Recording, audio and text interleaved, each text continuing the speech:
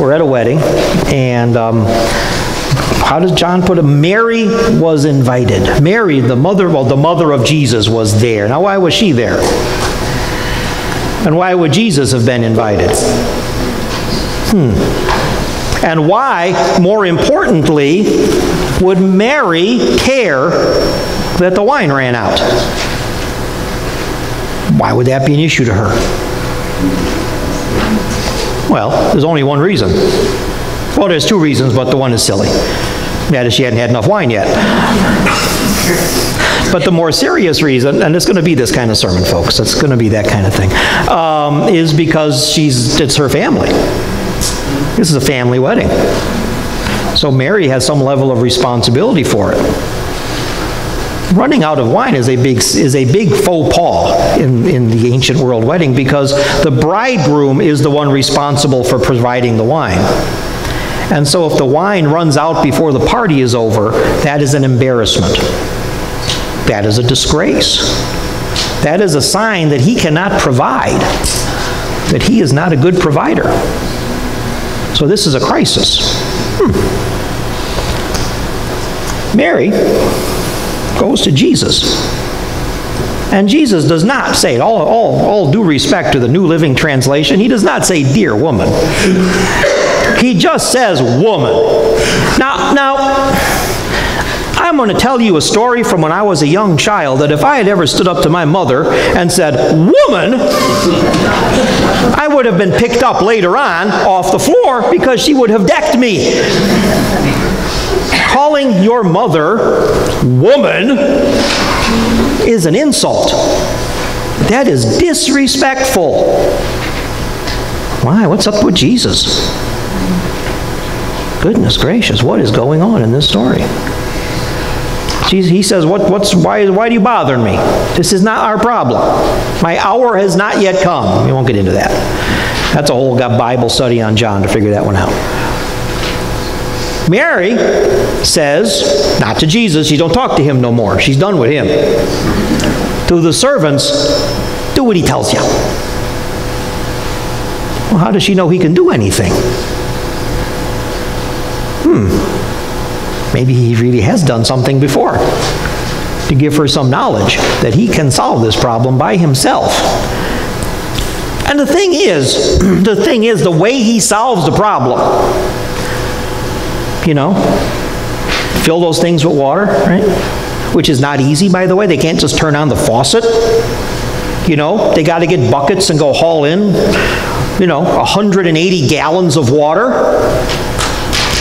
Try to find 180 gallons of water in the Holy Land. It's not always an easy task, so that's a lot of work. All right, haul in the water. Nah, draw some out. How many of you ever seen a magic show? Yeah, I've seen magicians do that a hundred times. Take one liquid, turn it into something else. I have. I've seen it done. Magicians do this all the time. It's a magician's trick. Is that all we get? A magician's trick? Is that this is why the disciples believed in Jesus? Are you kidding me? This is all it takes? A parlor trick? And they're like, "Whoa. That's a low bar."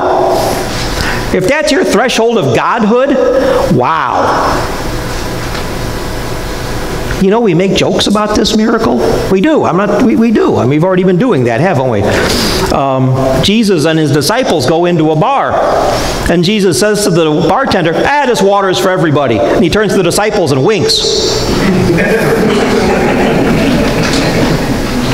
I saw a meme on Facebook yesterday. It's a, it was a communion, glass communion chalice filled with water. And next to it was a Jesus action figure. And the caption was, Now we wait.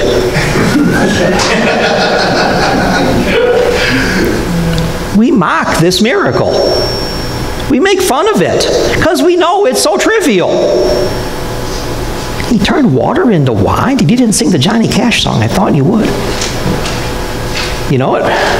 He turned the water into wine. Oh my God, I stumped him. That's good. Oh, my God, I should quit now. Um, yeah, that's it. Is that really it? No, it's not, because this is the Gospel of John. And see, the Gospel of John, nothing is as it appears. The simple reading of John is never the only reading of John. There's always another meaning to what Jesus does in the Gospel of John. So there's another meaning to what Jesus has done at this wedding. And we need to seek that out to understand. Every miracle that Jesus does in the Gospel of John, there are seven of them has a deeper meaning. And that deeper meaning in general is to point us to God's kingdom and teach us something about God's kingdom and what life in God's kingdom is like. Every miracle does that. This one is no exception. Um, to get it, we're going to need to go back to the Old Testament for a minute. Weddings, the wedding feast, the great banquet, the great party was a sign of God's end time victory. There's a passage in Isaiah that talks about how on God's holy mountain, God will prepare a feast of fine, well aged wine and food rich with marrow. And on that mountain, the shadow of death will be taken away from all of God's people. And death will be no more. And God will win. And the proof of that is the best party you've ever been to. That's the wedding feast. So when Jesus is at a wedding, he's not just at a wedding, he's pointing us to God's victory feast. We're to get that image in our mind. And the main celebratory ingredient of God's victory feast is wine. The best wine ever. God's victory party will contain the best wine you've ever drank. And all of a sudden, you all want to go there, don't you? Yeah. So, this is all of a sudden a complete teaching about God's kingdom. And the most important thing about God's kingdom that we learn from Jesus being at this wedding at Cana is how much wine there is. Six stone jars that each hold 30 gallons of water. And Jesus turns it all into wine. That's 180 gallons of wine. Mr. Simmons told me that's 900 bottles. He did the math. Because I didn't know at the early service how much that was. But think about it 900 bottles, you know? Think about it. It's 180 gallons. So how many ounces are there in a gallon? 128. Because it's four quarts. 128 times 180? It's a lot of ounces of wine. Four ounces at a time, how long do you think that's going to last? A while, huh? And it's good wine. Because the thing you need to know about God's kingdom is abundance. Everything that happens in God's kingdom happens in abundance. God's grace is abundant. God's love is abundant. God's forgiveness is abundant. And not just a little bit abundant, but abundant beyond your wildest imaginations. Abundant beyond anything you can comprehend and anything you can imagine. Because it never ends. Because here's the thing about that miracle at Cana. If they drank all that 180 gallons of wine, what do you think Jesus would have done? Gone, sorry? I can do that again. And he would. Because it never ends. God's kingdom never runs out. God's abundance never runs out.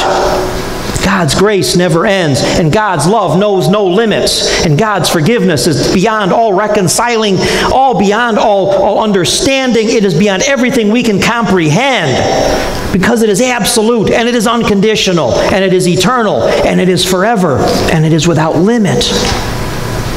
The abundance of God's kingdom is an eternal, unending abundance. And Jesus shows that to you by turning water into more wine than that party could ever handle.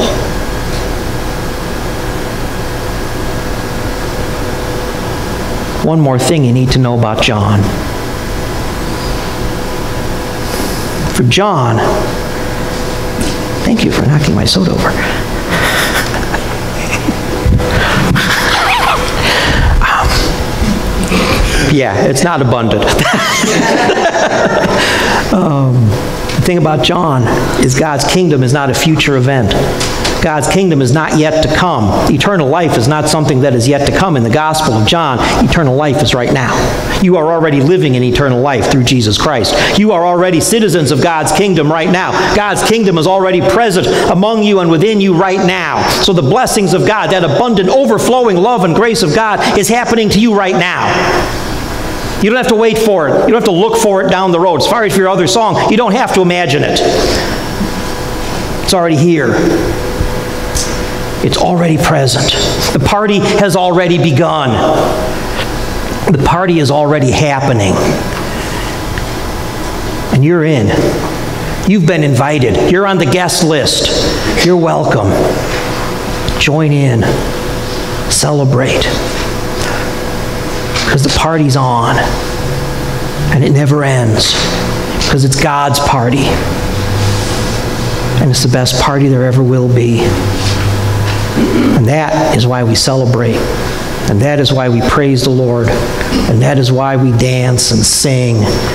You don't have to imagine it. You don't have to imagine what it would be like to stand in the presence of God because you are. You don't have to imagine what it would be like to have God walking beside you because God already is. I defy anybody to stand up and dance now, though.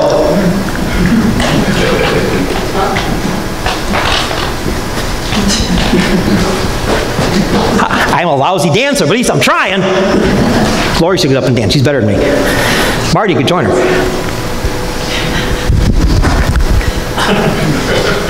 I guess not. It's too much. Anyway. Anyway. It's now. Now is the time to dance, and now is the time to fall on your knees, and now is the time to stand in awe, and now is the time to do anything you want in response to God. Because God is here, and the party is on, and the wine is being served, and the grace is being poured out, and the love is being shared, and it never ends. But this sermon just did. Thank you.